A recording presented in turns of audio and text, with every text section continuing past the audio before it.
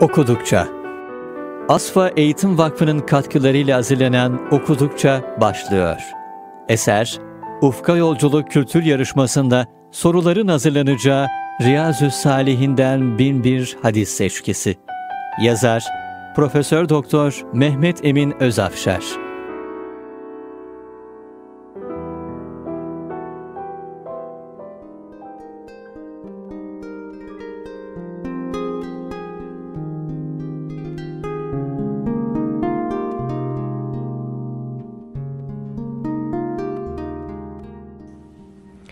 Değerli okurlar, hayırlı akşamlar. Kaldığımız yerden yine her zamanki gibi devam ediyoruz. Ebul Fadl Abbas bin Abdülmuttalip radıyallahu anh'ten şöyle dediği nakledilmiştir. Ey Allah'ın Resulü, bana Allah'tan dileyeceğim bir şey öğret dedim. Resul-i Ekrem, Allah'tan afiyet, sağlık, esenlik dile buyurdu. Birkaç gün bunu dilemeye devam ettim. Sonra daha fazlasını öğrenmek için Peygamber sallallahu aleyhi ve selleme gelip ''Ey Allah'ın Resulü bana Allah'tan dileyeceğim bir şeyler daha öğret.'' dedim. ''Ey Abbas, ey Resulullah'ın amcası, Allah'tan dünya ve ahirette afiyet, sağlık, esenlik iste.'' buyurdu.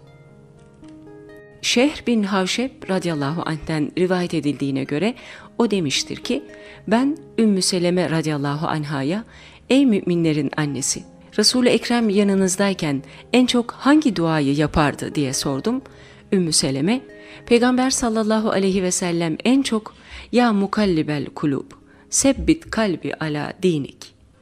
Ey kalpleri evirip çeviren Allah'ım kalbimi dininin üzerine sabit kıl diye dua ederdi cevabını verdi.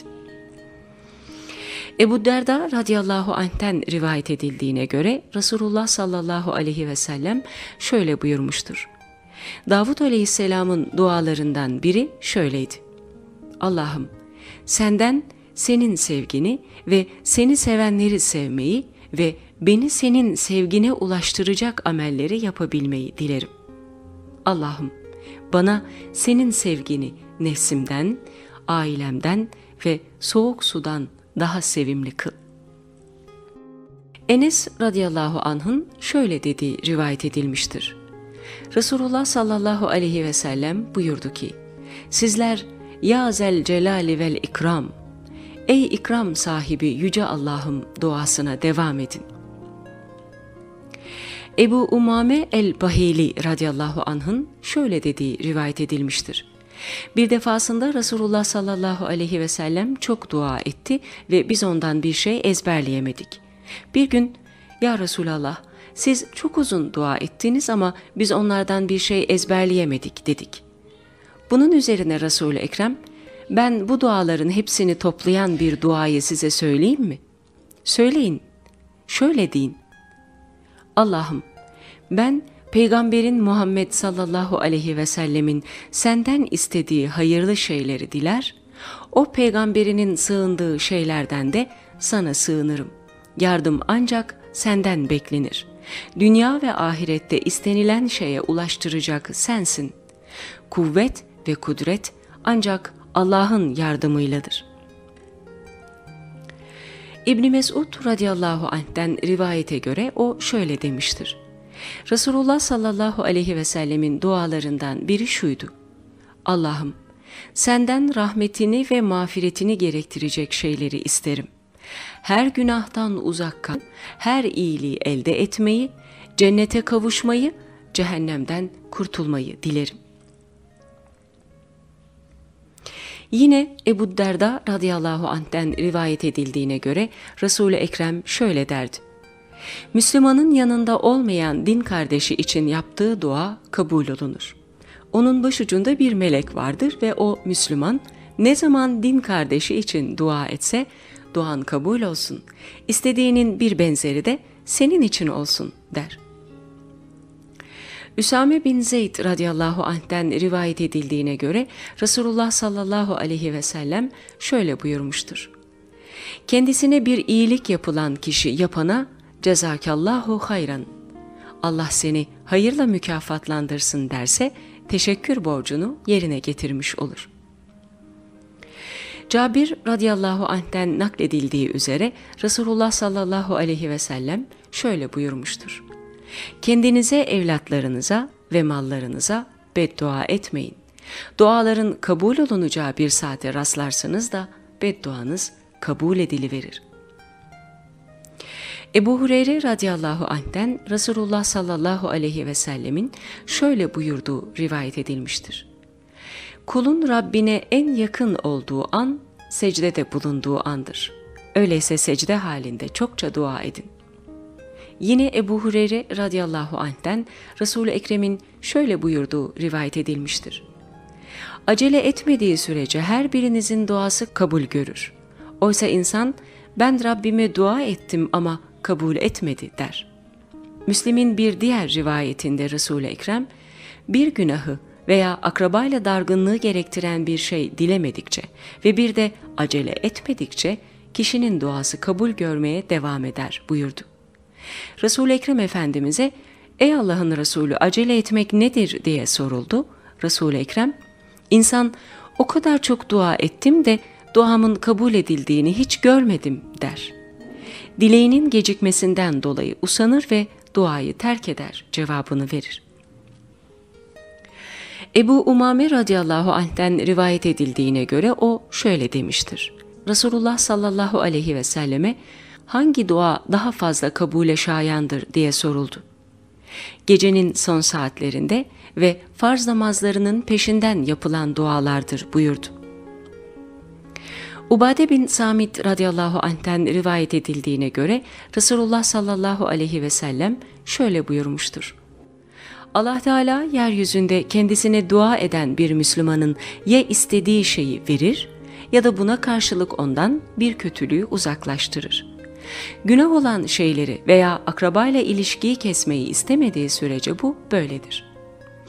Oradakilerden birisi, öyleyse biz çok dua ederiz dedi. Peygamberimiz de Allah'ın vereceği şeyler daha çoktur buyurdu. Abdullah bin Abbas radıyallahu anh'ten rivayet edildiğine göre Resulullah sallallahu aleyhi ve sellem sıkıntılıyken şu kelimelerle dua ederdi. Hilim sahibi yüce Allah'tan başka ilah yoktur. Büyük arşın sahibi Allah'tan başka ilah yoktur. Göklerin, yerin ve arşın sahibi Allah'tan başka ilah yoktur.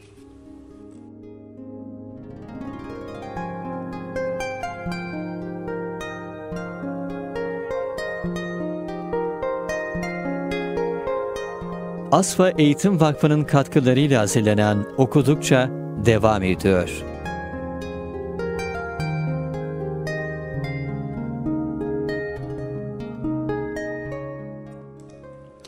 Af dileme, istiğfar.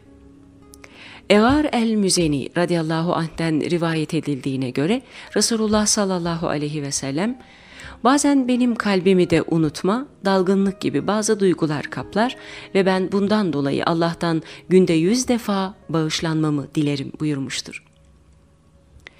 Yine Ebu Hureyre radıyallahu anh'ten rivayet edildiğine göre Resulullah sallallahu aleyhi ve sellem Beni yaşatan Allah'a yemin ederim ki siz günah işlememiş, tövbe ve istiğfar etmemiş olsaydınız Allah sizi alır ve yerinize günah işleyip ardından kendisinden bağışlanma dileyecek bir topluluk getirir ve onları bağışlardı buyurmuştur. Abdullah bin Abbas radıyallahu anh'ten rivayet edildiğine göre Resulullah sallallahu aleyhi ve sellem şöyle buyurmuştur. İstiğfar, bağışlanma dilemeye devam edeni Allah Teala her türlü darlık ve kederden kurtarır. Onu ummadığı yerden rızıklandırır. İbn Mesud radıyallahu anh'ten Resulullah sallallahu aleyhi ve sellemin şöyle buyurduğu rivayet edilmiştir. Kim ben kendisinden başka ilah olmayan, diri ve her işi yapmaya kadir olan Allah'tan bağışlanmamı diliyorum derse, savaştan bile kaçmış olsa günahları bağışlanır. Şeddat bin Evs radıyallahu anh'ten Nebi Muhterem sallallahu aleyhi ve sellemin şöyle buyurduğu rivayet edilmiştir. İstiğfar dualarının en üstünü kulun şu şekilde mağfiret dilemesidir. Allah'ım sen benim Rabbimsin, senden başka hiçbir ilah yoktur. beni sen yarattın. Ben senin kulunum. Gücüm yettiğince ezelde sana verdiğim sözü tutuyorum. Ya Rab, yaptıklarımın şerrinden sana sığınıyorum. Bana verdiğin nimetleri de, günahımı da itiraf ediyorum. Beni bağışla. Zira günahları senden başka kimse affedemez. İşte bu duayı gündüz içtenlikle inanarak okuyup akşam olmadan ölen kimse cennetlik olur. Yine içtenlikle inanarak gece okuyup da sabah olmadan ölen kimse de cennetliklerdendir. Ayşe radıyallahu anhadan rivayet edildiğine göre Resulullah sallallahu aleyhi ve sellem vefatından evvel Subhanallahi ve bihamdi estağfirullahe ve etubu ileyh Allah'ı her türlü noksanlıktan yüceltir, ona en yüce övgülerle hamd ederim. Allah'tan beni bağışlamasını diler, ona tövbe ederim. Sözünü çokça tekrarlıyordu demiştir.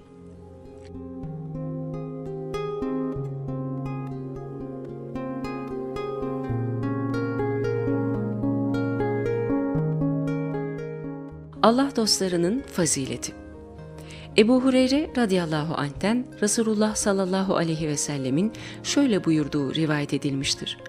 Geçmiş ümmetler içinde kendilerine ilham olunan insanlar vardı. Eğer ümmetim içinde de bunlardan bir kimse varsa o Ömer'dir. Hz. Enes radıyallahu anh'ten nakledildiğine göre Resulullah'ın ashabından iki kişi karanlık bir gecede onun huzurundan ayrılmışlardı. Önlerinde bir meşale gibi iki ışık peyda oldu. Yolları ayrıldığında da her biriyle beraber bir meşale evine varıncaya kadar onun yolunu aydınlattı. Buhari bu hadisi çeşitli kanallardan nakletmiştir.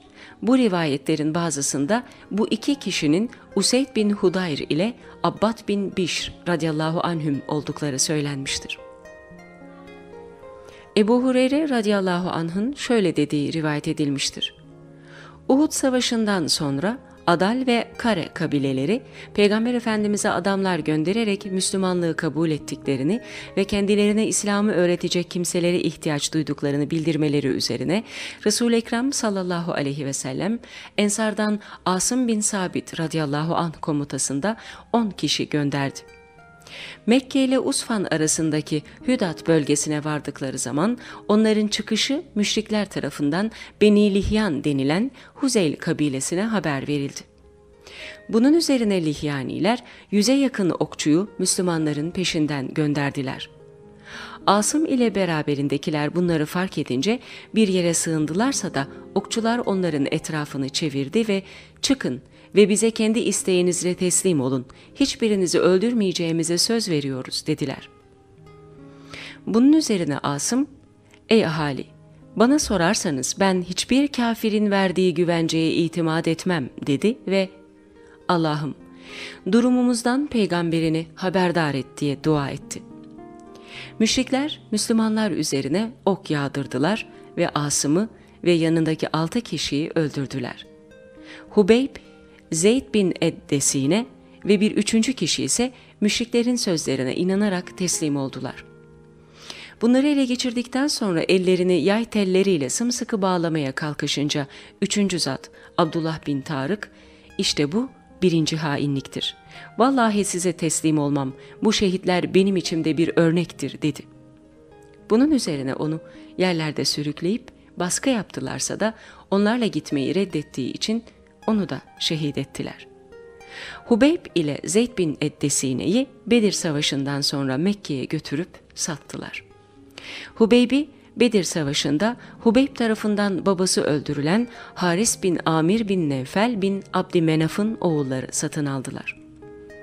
Hubeyb hepsi tarafından öldürülmesine karar verilinceye kadar Haris'in oğulları yanında esir kaldı. Öldürülmesinden evvel Hubeyb, Haris'in kızlarından Ukbe'nin kız kardeşi Zeynep'ten tıraş olmak için ödünç bir ustura bıçağı istedi. Zeynep de ona usturayı verdi. Zeynep'in gafil bulunduğu bir sırada çocuğu Hubeyb'in yanına yaklaştı.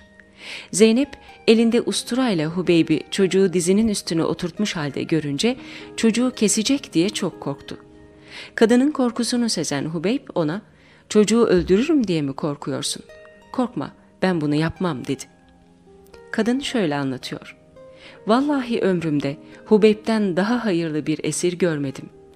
Vallahi bir gün onun zincirle bağlı olduğu halde bir salkım üzüm yediğini gördüm. Halbuki Mekke'de üzüm yoktu. Bu Hubeybe Allah tarafından verilmiş bir rızıktı. Hubeyb'i öldürmek üzere adam öldürmenin yasak sayıldığı harem bölgesinden çıkartıp serbest bölgeye götürdüler. Oraya vardıklarında Hubeyb onlara bana izin verin de iki rekat namaz kılayım dedi. Bıraktılar ve iki rekat namaz kıldı. Sonra vallahi ölümden korktuğum için uzattığımı zannetmeseydiniz namazımı biraz daha uzatırdım dedi ve Allah'ım bunların hepsini tek tek say. Birer birer canlarını al ve hiçbirini sağ bırakma diye dua ettikten sonra şu iki beyti okudu. Okudukça Asfa Eğitim Vakfı'nın katkılarıyla hazırlanan Okudukça sona erdi. Okuyan Serpil Özcan Profesör Doktor Mehmet Emin Özafşar'ın Ufka Yolculuk Kültür Yarışması için hazırladığı Riyazü Salihinden Binbir Hadis Seçkisi isimli eserini dinlediniz. Yarın akşam kaldığımız yerden devam etmek üzere hayırlı akşamlar.